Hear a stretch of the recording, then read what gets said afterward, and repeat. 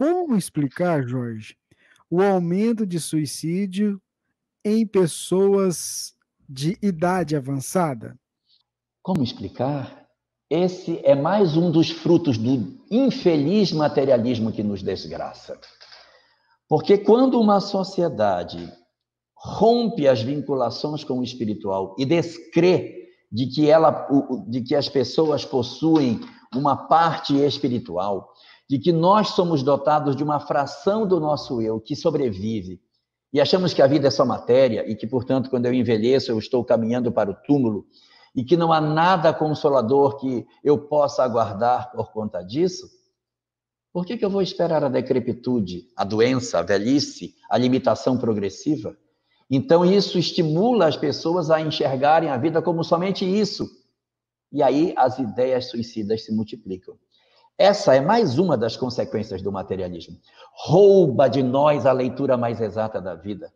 Destrói o nosso futuro, apaga as esperanças que nós possuímos.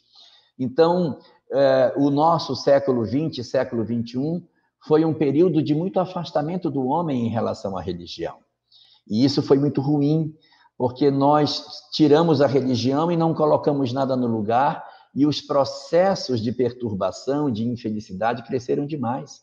Nós hoje somos grandes consumidores de, de remédios é, controlados para questão, é, questões emocionais, são os depressivos, síndrome do pânico, é, é problema de paranoia, diversas, com, diversos conflitos, tanto psicológicos como psiquiátricos, acontecem na nossa sociedade, e que o materialismo é uma das das causas fundamentais para que isso aconteça. E você me pergunta qual a causa? A causa é essa. E como combater?